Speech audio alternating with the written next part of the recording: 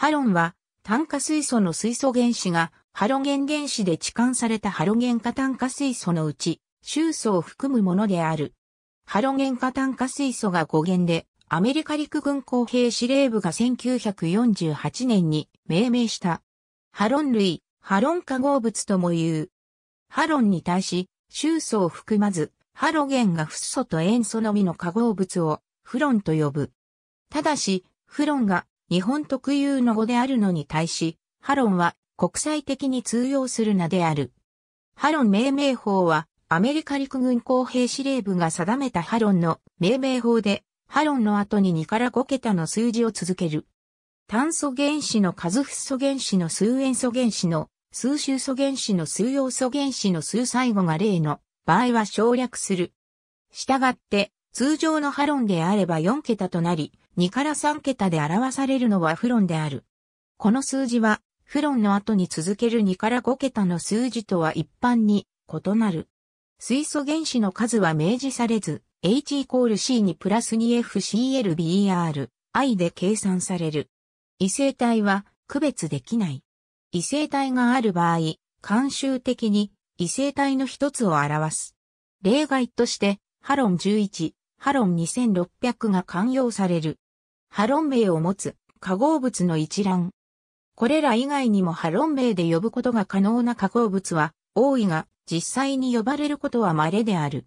周素を含むものが厳密な意味でのハロンとなる。ハロン1211ハロン1301ハロン2402は、モントリオール議定書でオゾン層破壊物質として特定ハロンに指定されており、1994年1月1日から議定書第5条非適用国では製造等が全廃されている。ハロゲン化物消火設備の消火剤に使われる。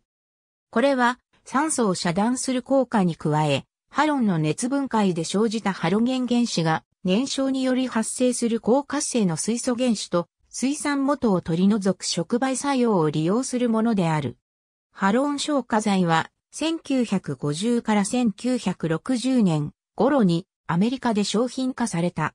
もともと航空機搭載用に開発されたもので、液体燃料の火災に効果的である。